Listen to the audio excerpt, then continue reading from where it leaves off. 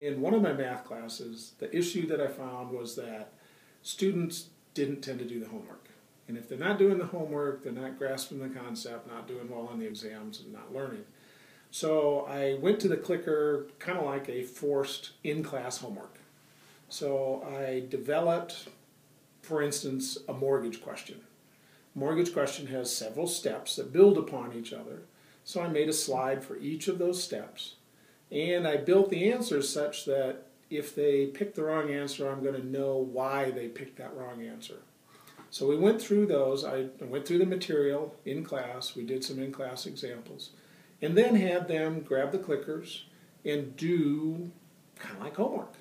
And so for each step, I could one see whether the how many people got it, mm-hmm. and for the ones who didn't get it, I knew why, so I could explain it at that point before we moved on to the next section, because those build upon each other.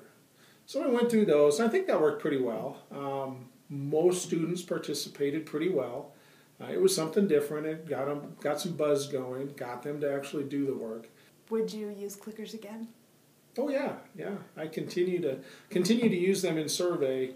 In quantitative analysis, I've only used them a couple times, mm-hmm. and I use it really for um, spice to change a pace, to do something different. That class tends to get bored relatively easily, mm-hmm. and that just a mundane lecture, let's do some math, is not what they want to do and so I need to find new and different things to do. And the clicker is something fun for them to do. It's like a video game. Uh, there's some buzz in the room, it keeps them awake.